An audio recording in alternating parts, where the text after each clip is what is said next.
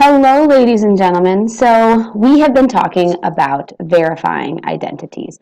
We've already covered some identities that we can use that are equivalent, all right? For example, that sine and 1 over cosecant are equivalent because they're reciprocal. Today we're going to cover a few more identities. The first set are some cofunction identities that we talked about way back at the beginning of the semester. So, if you have the sine of pi over 2 minus x. All right, so that means 90 minus x. As a side note, pi over 2 minus x is really equivalent to the complement. All right, we talked about complementary and supplementary angles again at the start of the semester. So basically, if you take the sine of the complement of an angle, that has to be the cosine of just the angle itself all right?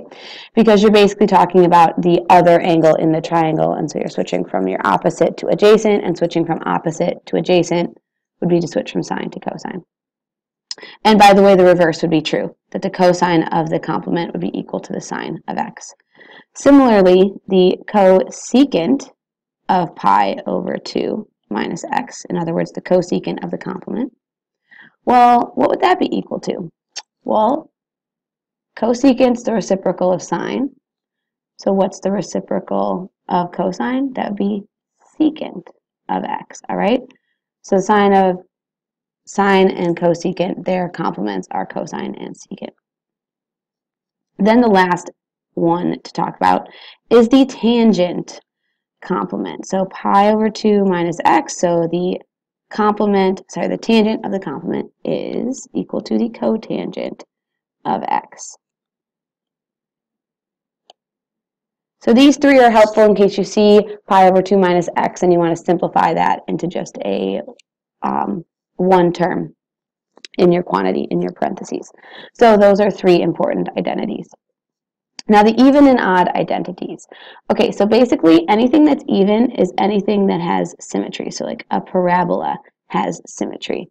Anything that's odd is something that doesn't. So something that's, you know, cubic, that doesn't have any symmetry. So the even functions that have symmetry about the y-axis, that would be this guy right here, which is a very rough sketch of cosine. So if you take the cosine of any negative angle value, that would be equivalent to the cosine of just that x value itself, all right? So that's even, okay?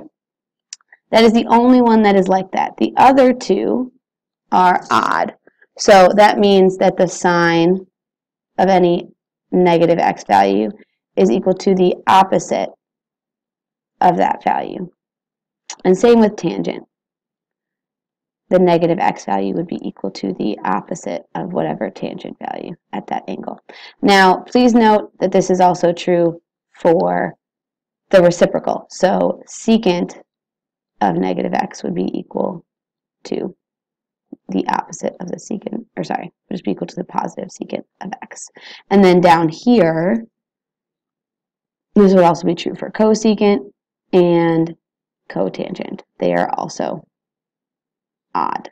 All right, now you're probably thinking, okay, cool, but what does any of this have to do with verifying? Why is this important? Yada, yada, yada. I get you. Well, suppose you wanted to simplify this expression. And I don't know why there is this random error in here. All right. Suppose you wanted to simplify this expression because we really don't want negative angle values. How can we simplify this? Well, we just learned that the sine of negative x, so here let me let me help visualize this for you. We just learned something about the sine of negative x, and we just learned something about the cosine. We learned that this is actually equal to the opposite of the sine of x. All right, so now there's no negative messing with my angle value. And we just learned that the cosine of an, a negative angle is actually just the positive version of that angle. I just want to go right to sine again. Sorry about that. Well, that helps us out a lot because if I look at this expression, sine over cosine, well, I know what that equals. That is a identity I learned about the other day, a quotient identity, which is that the sine over the cosine is the tangent of x. So I'm going to keep that negative, but change that from sine over cosine to tangent. So that's much more simple. So now we are done. So negative tangent of x. Okay, in my second example, so by the way, what does it mean to simplify? Essentially, it means to, uh, to create or to reduce the number of terms. Reduce the number of trig terms. All right, so we want to try and get rid of as many trig values as possible. So, or trig expressions. So we had two here, and our x's were negative. Now they're positive, and we only have one trig uh, function. We're only talking about tangent now. That's more simple. Sometimes it might mean we have to factor, which is actually what we are going to have to do in number two. So we have something to the fourth power, both secant and tangent. Well, those, as we've talked about, are perfect squares still. So this is actually a difference of two squares. So we can take the secant squared x minus the tangent squared x and write the secant squared x plus tangent squared x. All right, now I'm going to give you a second to look at that. All right? All right, now one of these quantities in parentheses is a Pythagorean identity. So I just said the words Pythagorean identity. So maybe you want to look in your notes real quick or make a decision. But hopefully after I'm stalling a little bit, you notice that, which one is it? That this secant squared x minus tangent squared x is a Pythagorean identity that is equal to 1. So 1 times this quantity is going to be what we will have. So that helps because now we're down to just these two terms to deal with. But there's something else you should know. You can actually rewrite secant squared x as tangent squared of x plus 1 plus the tangent squared x. So that's all in parentheses. By the way, if you're wondering how I got that this is 1, I should probably make a little side note over here.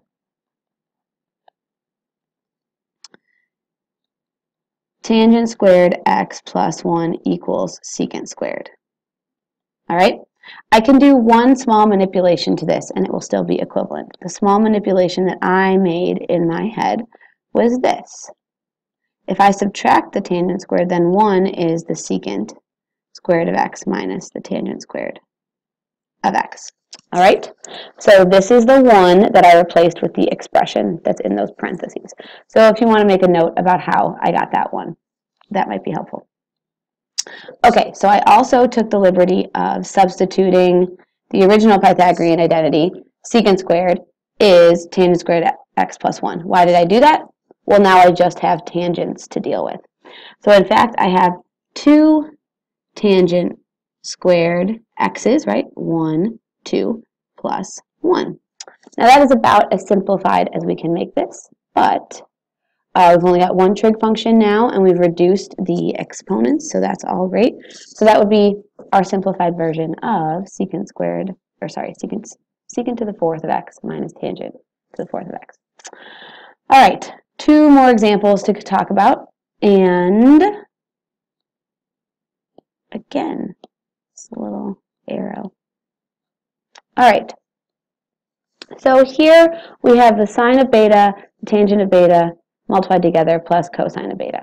So at some point, hopefully earlier, we've talked about the fact that if there are too many types of trig functions, that you want to change them